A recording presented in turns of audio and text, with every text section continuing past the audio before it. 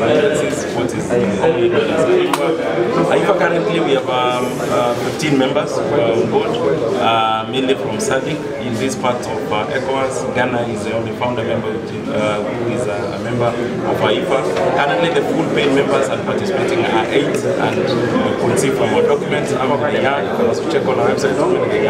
What are we trying to achieve as a board, um, as an association, is we are trying to get African solutions for African problems. As you are aware, the penetration of higher education in this part of the world, uh, in Africa, is less than 10%. And when you look at developed countries like the Asian Tigers, we're talking about 45% penetration of students transiting from secondary to university level. And those are the aspirations that uh, the board is trying to achieve. Now, one of the ways to achieve is to try to see how we do this from a common front, all of us together.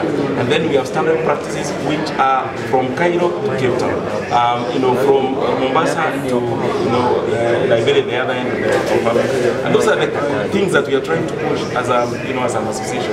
And that's why the 2015 AGM was uh, found it necessary to come to ECOWAS so that we can be able to involve more members who can be able to join ECOWAS. Interesting, you raised so many issues with regards to Africa and the way we are lacking in terms of financial education. Tell us, what is your association specifically doing, especially for your member countries, in order to get many people being financed as far as education is concerned? As you are aware, um, Africa is touted as the last growth frontier. This year, World Bank uh, expect that Africa will be growing at about 5%. This is one of the few continents which will be growing at about 5%. However, because of underdevelopment challenges, the amount of money that is being channeled to higher education is becoming uh, smaller and smaller. It is not enough to take everybody on board.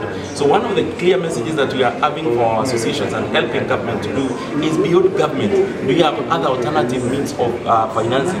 One of those alternative means of financing higher education is making national revolving funds. If you look at, for example, STLF of the country, it is revolving the money that it was given by government. Now we need to increase and maximize that revolvability of those funds because that revolvability helps us to create a bigger fund and then get more students to join you know, higher education because we know it is only through education that we can be able to transform society. So, um, okay, what has been your collaboration with higher educations in Africa with regards to what we are teaching our children in terms of the quality of education and the world market? Because today, we look at the many students our university churn out, they don't seem to meet the, the there's like a mismatch so far as the market is concerned. You have any collaboration have done about it? Thank you. In my earlier message, when I was delivering a keynote address of the chairman of the president, you must have been talking about mismatch between what you are producing at the university and what is uh, how they are getting into uh, the, the, the job market. So remember, AAHEFA by its own purpose cannot be able to influence faculty. But we can be able to discuss with faculty in terms of producing graduates that actually fit the market. So one of the key things is that, and you must have seen, uh, you know, one of the vice uh, uh, chancellors was actually around, in terms of how do you collaborate on faculty development faculties that are resonating with the problems of society. So yes, as part of our agenda, moving forward, we'll be looking at also faculties that are repaying their loans. Because you know when you're not repaying your loan, then it means that you did the wrong faculty, you have no job, so it means that is why you're struggling to repay the loan. So we are looking for a common understanding between us and faculty holders, who are the universities themselves, to be able to tell them the society is experiencing these problems. Those are the graduates we need you to produce for this market. And that way, we think we'll be helping a society problem of what you talked about, mismatch between the job market and what we are producing at the university. And finally, in the case of Ghana, we know the student loan trust fund, they have been assisting students for some time. But of course, assessing it is even more difficult. And we also know from their end that the control rate is also that bad. That is why we are having this. Can you tell us about what you when it comes to uh, financing higher education like one you do? One of the key things that you need to congratulate L- STLF is they are now 10 years. 10 years, 80,000 students, that's not a small number. And if you look at most of the African bodies, they are also about 10 years, 15 years or thereabouts. And the recovery rate of uh, you know, student loans is always a big challenge. Why?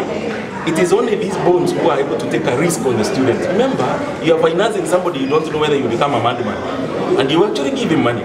And you say, I hope when he, you know, when madness gets out of then you'll be able to pay. So it's a big risk that bodies like uh, STLF are taking, or bodies like, uh, you know, SLF and members of AAHEFA are actually taking to be able to say that you can, I can give you money and hopefully you'll be able to recover. So recovery is one of the agenda items that we are pushing as agenda, as, as AAHEFA. Now, if you listen to me, I didn't say that we have a lot of movement across Africa. So the question is that if a Ghanaian, you know, took money from STLF and comes to work in Kenya, what collaboration can HELB of Kenya give him so that we can be able to help STLF in terms of that recovery recovery program. That is what you call globalized loan recovery process. And if you use the standard means now currently pushing across the entire uh, you know Africa, we hope that out of that we should be able to get more people repaying this money. Alternatively, is to look at where do you get instead of blaming STLF, how can STLF actually be able to get more money outside?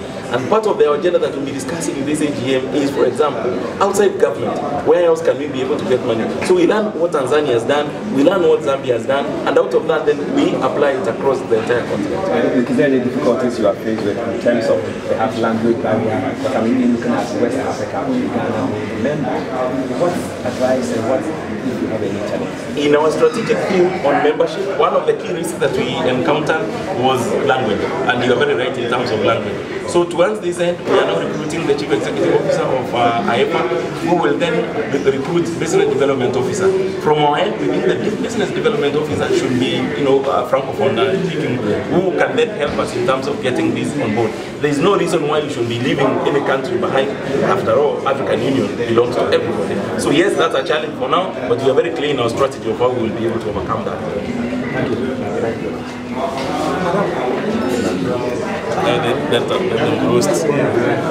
Det är en rost. Det är.